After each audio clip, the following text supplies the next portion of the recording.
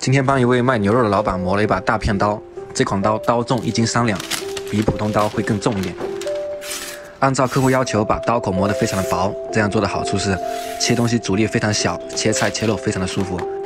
因为比较薄所以后期磨刀会非常的轻松。这样子的锋利度牛不牛老铁们。